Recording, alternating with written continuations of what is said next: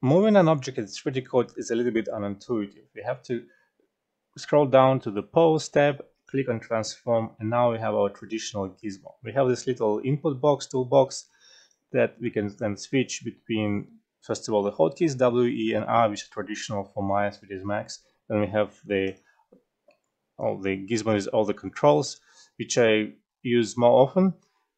However, there's a problem. and It's really easy to misclick on gizmo and lose your selection, lose the control.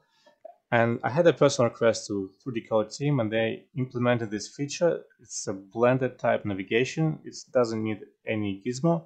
If you press G, and this is my, my hotkeys here, if I press G, it will move in the screen space.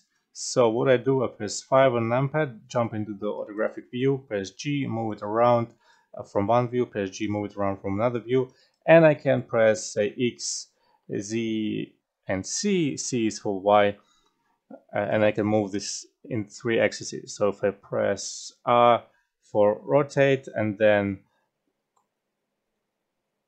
uh, and then rotate, it will do the same thing. And then I can switch between the axes and S is for scale, again, same as in Blender. So you can have combination of two, which is like best of the both worlds. And well, pick your type.